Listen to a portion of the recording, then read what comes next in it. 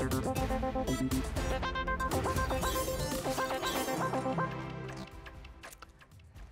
morgon, det här är EFN Direkt. Jag heter Samantha Kord. och vi ska såklart handla om räntebeskedet som kommer från Riksbanken om knappt en timme. Och de flesta ekonomer tror på en sänkning på 25 punkter men en dubbelsänkning är inte helt uteslutet. God morgon och välkommen hit säger jag till Tobias Brännmo, chefekonom på Unionen. God morgon. God morgon. Eh, du förespråkar ju att Riksbanken sänker med 0,25. Mm. Eh, andra tycker annorlunda. Hur motiverar ja. du det här? Nej, men jag tycker att eh, det viktigaste som har hänt är att Riksbanken har gjort en väldigt stor omsvängning under det senaste året. Vi får komma ihåg det att bara för mindre än ett år sedan, då sa man att när man liksom pausade räntehöjningarna så sa man att eh, eh vi kommer det är mer sannolikt att vi kommer höja mer än att vi kommer sänka. Man sa att det kommer inte vara någon sänkning alls i år. Sen har man gjort en stor förflyttning och nu så är man ju inne på en bana där man kommer sänka vid varje möte under resten av året. Kanske en bit in på nästa år också. Det tycker jag är en tillräckligt eh, snabb takt för att få ner räntan. Det är givet att vi ska ner från dagens nivåer, men med den här takten med sänkningar vid varje möte så kommer, det, så kommer det ske i en tillräckligt snabb takt så att också ekonomin får chans att eh, anpassa sig till, till nya räntenivåer. Så därför tycker jag att det, så att säga, det räcker med 0,25 vid varje möte, om man gör det mm. vid varje möte. Mm. Dina kollegor då på Akavia och Saco, de vill ju se en sänkning på 50 punkter. Mm. Eh, varför menar du att du vill gå försiktigare fram? Eh, förutom att det är det att marknaden då ska kunna anpassa sig till den takten ja, som är förväntad? Ja, men det, det, är nog en liten, en liten eh, grundsyn jag har att eh, ekonomin mår bäst av, eh, av att vara utan stora svängningar. Det gäller på en rad områden och eh, att det finns en chans att anpassa sig. Så det, jag tycker så att eh, jag, jag, jag, är inte emot att ta större steg än så om man tycker att det verkligen behövs. Men jag tycker nästan att det ska till att man, att man liksom anser att man har hamnat ganska rejält fel för att ta till de stegen. Särskilt nu också när Riksbanken har gjort den här eh, väldigt välkomna ändringen att man har åtta möten per år istället för fem möten per år. Det, jag tänker att en tanke med den förändringen är också att man ska kunna bete sig på det här sättet och kunna göra fler beslut men i mindre skala. Och jag tror att det är klokt i grunden.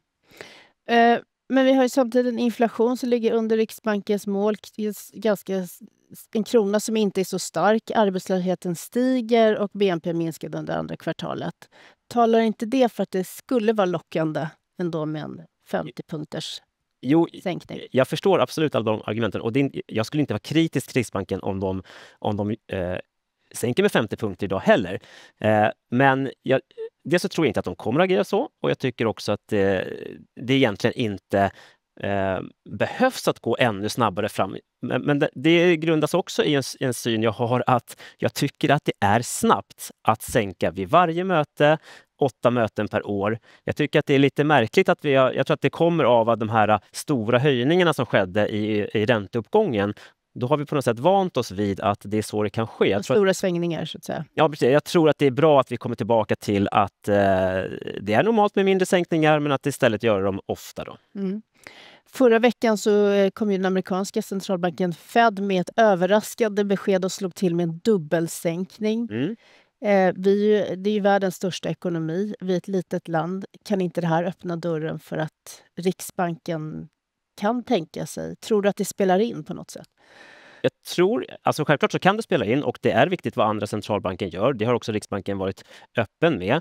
Man har snarare fått kritik för att man kanske har tittat för mycket på andra centralbanker tidigare. Jag tycker att det är väldigt välkommet att Riksbanken har liksom gått, eh, gått före, vågat göra sina sänkningar tidigare än andra centralbanker när vi ska bedöma Feds besked så måste vi också göra det utifrån att dels att räntenivån där är betydligt högre än i Sverige och också att de ju nu börjar den här sänkningen många månader efter att Riksbanken sänkte första gången. Det gjorde man ju i maj redan mm. och Fed gör det nu.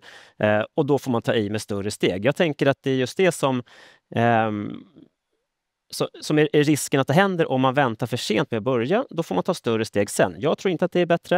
Eh, men, men självklart så om Fed nu, att Fed har sänkt med en större sänkning, det om det verkar åt något håll till den svenska Riksbanken så är det såklart i riktningen att det underlättar för dem också att göra en större sänkning. Men jag tror inte att det kommer påverka dem i dagens besked. Nej. Men din kollega då, eh, Torbjörn Holle, chefekonom på LO, han Mm. vill ju se en hel procentenhet, två- eh, eh, 2,5 på en gång. Kan du, hur resonerar han? Berätta.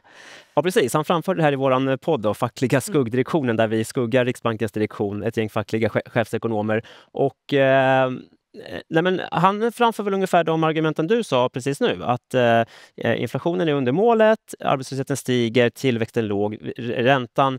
Det är uppenbart att den, den, eh, den nivå på räntan som den borde vara jämfört med hur den är idag, det är en stor differens där. Det finns, det ingen, det finns ingen poäng med att göra den här lugna takten som jag förespråkar, utan han ser att det är lika bra att vi tar oss ner dit på en gång. Om, vi ändå, om det ändå är dit vi ska, så kan vi lika gärna göra det på en gång. Och det där är ju två, två olika synsätt man kan ha på hur eh, huruvida det är viktigt att ta det lugnt eller inte. Så det är väl framförallt det skulle jag tro. Mm. Sen kanske det också är en skillnad i hur man bedömer de här senaste inflationsutfallen. För nu beskrivs det som att inflationen är, är tydligt under målet.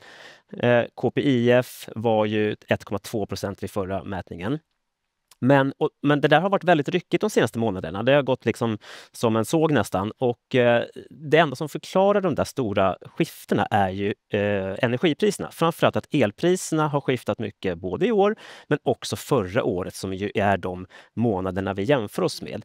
Tar man bort det så är inflationen mycket lugnare och fortfarande kvar strax över 2 så, så det är kanske också en skillnad där hur vi, eh, på hur man ser Eh, på inflationsläget just nu också. Om det är klart under målet så att det liksom motiverar större steg eller om eh, det fortfarande är eh, ungefär i nivå med målet. Eh, men på, på en för hög styrränta då, i det läge som vi befinner oss i nu, på vilket sätt skadar det vår ekonomi? Ja, men det är ju det som har legat bakom den stora eh, liksom, eh, stagnationen i tillväxt, uppgång i arbetslösheten. Så det är ju, det är ju uppenbart att den, den, liksom, hela den ekonomiska åtstramningen, både från penningpolitiken men också att finanspolitiken har hållits eh, åtstramande eh, i, i två år nu, har ju satt stora spår på den ekonomiska aktiviteten. Det är ju det som är det förväntade av en sån här eh, eh, åtgärd från den ekonomiska politiken. Så, så självklart så har ju det så att säga eh, skadat ekonomin eller satt eh, negativa effekter. Och det är bra om, eh, om vi... Självklart så ska vi komma bort från dem så att vi nu kan få fart på ekonomin. Eh, och det är det som händer nu också när Riksbanken håller på med en, eh, att ta ner styrräntan till mer normala eller neutrala nivåer. Och där kommer vi ju landa förmodligen redan i början på, på nästa år, även om man sänker med små steg varje gång. Eh, och vad är den normala... Eh, Thedéen har ju varit väldigt noga med att inte säga så mycket om man säger så. Nej. Hur tolkar du att den normala styrräntan kommer ligga på om givet ett år? Ja, men jag tänker att, eh, att han vill inte säga det av anledning till att eh, eh, det där vet vi inte riktigt. Och då kanske det är klokt honom att inte, att- att inte slå fast det. Men det är väl någon sorts allmän konsensus nu att det ligger någonstans runt 2% eller strax över 2% Och det är, av allt att döma så är det dit vi kommer ta oss ner med räntan också innan man tar en större paus eller längre paus och ser vad effekterna blir på lite längre sikt. Så jag skulle säga att eh, jag tror man kommer genomföra räntesänkningar nu ner till kanske 2,25 eller någonstans där runt omkring det och sen ta en längre paus. Tobias Brännemo, tack så mycket för att du var med oss den här morgonen. Tack, tack. snälla. Och vi fortsätter här. Eh, SBAB och Länsförsäkringar sänker räntan på bolån med tre månaders löptid med 0,2 procentenheter. Sänkningen kommer in för onsdagens räntebesked från Riksbanken. Och nu har vi med oss eh, förlåt. Nu har vi med oss chefekonom Robert Boye från SBAB. God morgon Robert. God morgon. Du, att Riksbanken levererar, nu, levererar en räntesänkning, levererar räntesänkning i september, det är ju ganska väntat. Men nu spekuleras kring om direktionen är redo att lätta lite på bromsen, lite snabbare än vad de har kommunicerat. Vad är oddsen för det, tänker du? Ja, men jag tror ju att de kommer markera här nu att man får en lite snabbare sänkning av styrräntan än man har markerat tidigare. Så att jag skulle bli förvånad om inte styrräntebanan dras ner lite grann här då jämfört med det besked man lämnade före sommaren när man gjorde den här riktiga prognosen. Den förra var ju bara en sån här light-version man la fram. Så jag tror definitivt att man kommer signalera det. Eh, Riksbankschefen har ju också varit ute på senare tid och sagt att det lutar snarare åt tre eh, än två eh, ytterligare sänkningar under året. Så att det ligger också då i, i, i, i samma riktning så att säga. Mm. Eh, vi, vi har pratat här tidigare om en dubbelsänkning eller inte. Vad skulle behöva ligga i korten för någonting sånt, ser du? Ja, men jag delar i allt väsentligt eh, Tobias eh, bild här. Eh, vi la ju fast en prognos redan i augusti förra året när vi såg att inflationen var på kraftig nedgång och när vi spådde fem stycken sänkningar av styrräntan då under året här. Så att vi ligger fast med den prognosen med fem stycken. Jag tror att vi skulle behöva se dels ännu mer tydligt att, att det går ännu mer knackigt för svensk ekonomi och att vi får något inflationsutfall där även KPFX, alltså när man rensat för, för fallande energipriser också eh, går ner rätt kraftigt. För att, precis som Tobias sa, det finns ju lite olika mått på inflationen. Eh, det vanliga inflationsmåttet låg på 1,2 procent eh, senast medan det här KPFX låg på 2,2 och har legat ungefär då på, på den nivån eh, också i tre månader här. Så att jag tror att man man måste titta på den sammantagna bilden här lite för, utifrån olika mått. Mm. Eh, och skulle det då bli en drastisk sänkning, ja då kanske det skulle kunna bli tal om en dubbelsänkning längre fram. Mm. Eh, oavsett hur mycket då Riksbanken sänker räntan så, så under hösten nu, innebär här nu att bostadspriserna och, eh, kommer skjuta i höjden, tror du?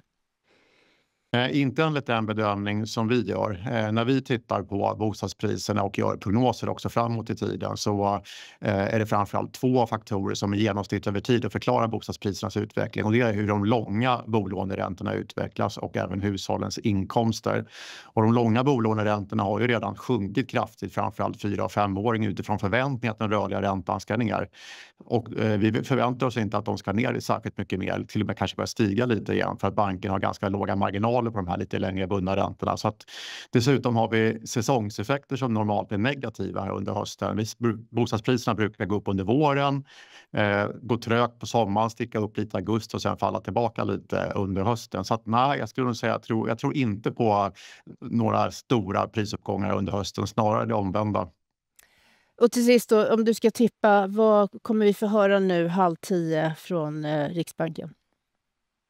Nej, men att det blir en sänkning är ju, står ju rätt självklart. Eh, och tittar man på hur vad Riksbanken har kommunicerat här strax innan eh, det här beslutet kommuniceras och också om man läser noga vad eh, de olika direktionsledamöterna sa i det senaste protokollet så skulle jag bli extremt förvånad om det blir eh, något annat än en sänkning med 0,25 procentenheter. Men jag utesluter inte en dubbelsänkning, men jag skulle bli väldigt förvånad. Robert Börje, eh, chefekonom SBAB. Tack så mycket för att du var med oss den här morgonen. Tack så mycket. Och vi fortsätter med andra nyheter och det ska vi gå igenom tillsammans med min eminenta kollega Elin. God morgon Elin. Eh, det, vi började prata lite om affärssystembolaget Fortnox har backat kraftigt. Vad handlar det här om? Precis. Det var ju igår som eh, bolaget först var ner någonstans 3-4 procent men sen så under eftermiddagen så tilltog det här fallet. Och, eh, det fanns tidpunkter då det var ner runt 8, nästan 9 procent. Men nu så igår så stängde de ner 6-7 procent. Eh, och det verkar handla om analytikermassage, eh, de beskeden som kommer. Eh, och att man har varit ute och eventuellt guidat ner vad analytikerna har sina estimat. Hur allvarligt är det här? Analytikermassage är en väldigt svår fråga som nästan kräver ett helt eget program just för att resonera kring. Men det är ju inte uppskattat eller bra, både för trovärdigheten för bolaget då de redan haft problem med förtroendet senaste tiden, att vara ute så här, utan det sargar förtroendet ännu mer. Och generellt kring analytikermassage så är det ett fenomen som man måste få bukt med. Mm. Och om eh, det här sargar förtroendet ännu mer, då, vad, vad kommer vi fortsätta se en nedåtgående spiral? Ja, eventuellt så blir det ju det att eh, för att bolag ska få tillbaka förtroendet så måste man kanske kommunicera bättre eller bevisa med siffror att det faktiskt går bra och att det inte finns eh, saker till last för bolaget. Men eh, nu så blir det ju svårare om man inte heller kan leverera siffror och också är ute och masserar analytikerkåren. Det är inte... Eh, nej, det känns inte toppen. Inte toppen. Nej. Eh, vi går vidare. Det kom nyheter om Truecaller igår kväll. Vad handlar det om? Eh, det är att storägare mm, ämnade att sälja strax över 4 av eh, totalkapitalet i bolaget. Eh, och eh, det verkar som att eh, den placingen sattes på 38 kronor, vilket är ungefär en rabatt på 8% från eh, den här 41,5 som de stängde på igår. Så det är en ganska stor rabatt. Men Truecaller har gått hyfsat bra i år och handlas just nu på toppnivåer. Så det är inte helt orimligt att bolaget försöker, eller storägare försöker sälja. Nej. Eh, och sen har vi fortsatt uppåt på Kinabörserna i natt. Är det stimulanserna? Ja, det vill jag påstå. Det mm, satte lite liv i den eh, dystra kinesiska Mm. marknaden. Välbehövligt för Kinas del. exakt. Eh, andra nyheter, kan vi säga något om Nvidias eh, följetong som fortsätter? Ja, som jag förstod det verkar det vara att nu så tror man att eh, vd är klar med sina försäljningar av aktier. Eh, och det är ju en fortsatt stor sentimentssättare och risk, alltså, ren proxy på eh, vad börsen just nu känner och tycker. Sen har vi ett börslunch senare idag, eh, 11.30 Precis. och 11.45. Ja. Ja. 11.45. 11.45. Eh, berätta, vad har vi att se fram emot? Jo, där har vi Martin Hallström som kommer och pratar teknisk analys med min fantastiska kollega Kelly. Så eh, lite mer kring risksentiment och var börsen eventuellt ska framåt. Mycket spännande. Vi ser fram emot det. Tack så mycket, Elin. Och tack för oss och tack för att ni har tittat. Vi är tillbaka igen halv tio med räntebeskedet. Då ska vi prata om det tillsammans med Annika Winst. Missa inte det. Tack så mycket.